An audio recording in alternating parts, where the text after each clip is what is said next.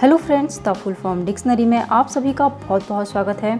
Friends, आज के इस वीडियो से मैं आप सभी के लिए लेकर आई हूँ एक और नई सीरीज़, जिसमें मैं आपको बताऊँगी कि मध्य प्रदेश के अंतर्गत जितने भी ज़िले हैं, उनके बारे में पर्टिकुलर इन्फॉर्मेशन जो कि आपको देगी दार्शनिक और जितने भी टूरिज़्म प्लेस हैं, उन सभी के बारे में इन्फॉर्मेशन क्योंकि फ्रेंड्स, आपने लास्ट ईयर यदि एमपीएसआई का एग्ज़ाम दिया होगा तो आपको ये चीज़ पता होगी कि पिछले साल एमपीएसआई के एग्ज़ाम में कितने, कितना ज़्यादा कितना ज़्यादा वेटेज में इस तरह के क्वेश्चन पूछे गए थे कि प्रत्येक ज़िले के जितने भी दार्शनिक स्थल हैं उन सभी के बारे में। तो इस तरह से मैं आपके लिए बावन वीडियोस लेकर आऊँगी, जिनमें मैं आपको प्रत्येक ज़िले के बारे में बताऊँगी। प्रत्येक ज़िले की पर्टिकुलर जो भी वहाँ पर घूमने लायक जगह हैं, जो भी प्लेस हैं टूरिज़्म प्लेस हैं, उनके बारे में मैं आपको बताऊँगी।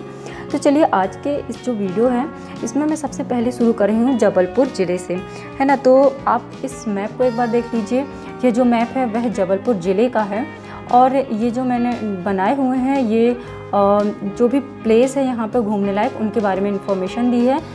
क्योंकि फ्रेंड्स जब आप मैप से किसी चीज़ को पढ़ते हैं तो आप उन चीज़ों को आसानी से याद रख पाते हैं और वो चीज़ें आपको जल्दी से समझ में आती हैं। इसके अलावा कुछ छोटी सी इन्फॉर्मेशन यहाँ पे मैंने आपको दी हुई है कि जबलपुर को कौन कौन से, जबलपुर से कौन कौन से नेशनल हाईवेज़ गुजरते हैं। तो बेसिक चार यहाँ से नेशनल हाईवेज़ गुजरते हैं, जो कि पहला है एन एच सेवन जो कि पूरे जबलपुर को दो डिवाइडेड दो पार्ट में डिवाइड करता है। इसके साथ ही है एन एच फोर्टी फाइव यह भी जबलपुर को टू पार्ट में डिवाइड करता है। इसके अलावा है N H national highway twelve A और नेशनल हाईवे ट्वेल्व ये हुई एक बेसिक सी इन्फॉर्मेशन अब बात करते हैं कि जो जबलपुर है, उसमें कौन कौन से ऐसे स्थल हैं कौन कौन से ऐसी जगह हैं जो देखने लायक हैं और आपके एग्ज़ाम के लिए काफ़ी इम्पोर्टेंट भी हैं। तो फ्रेंड्स सबसे पहले सबसे पहले बात करते हैं सिहोरा के बारे में।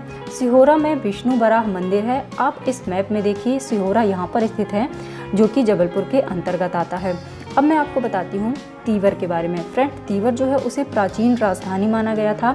इसके अलावा यहाँ पर त्रिपुर सुंदरी देवी का मंदिर है जो कि काफ़ी प्रसिद्ध है और इस वजह से इस नाम को काफ़ी, इस स्थान को काफ़ी जाना जाता है।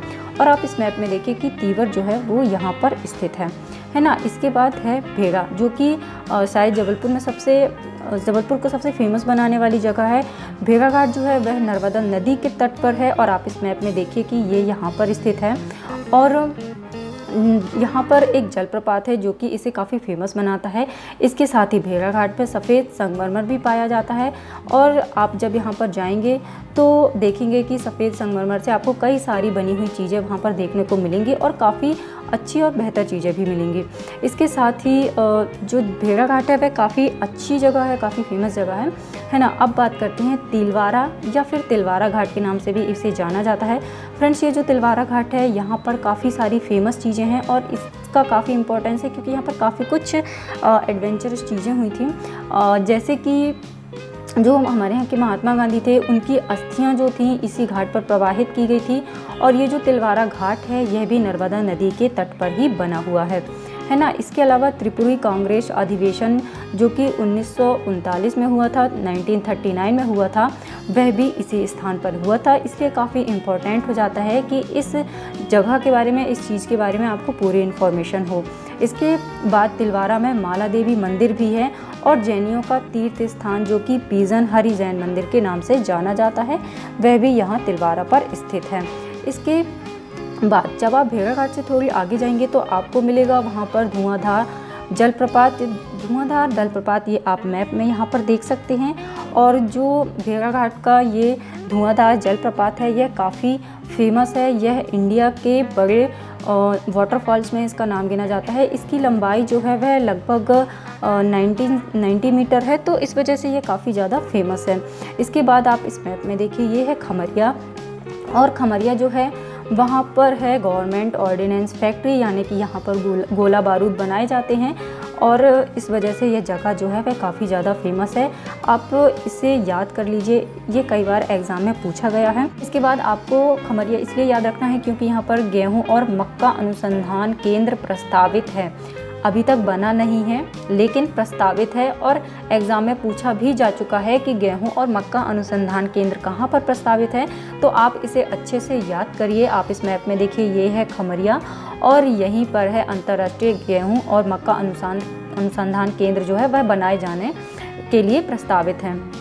इसके बाद आप ये देखिए तिगवा या फिर इसे तिगवा के नाम से भी जाना जाता है और यह भी बहुत ज़्यादा इंपॉर्टेंट है क्योंकि यहाँ पर गुप्तकालीन विष्णु मंदिर स्थापित है।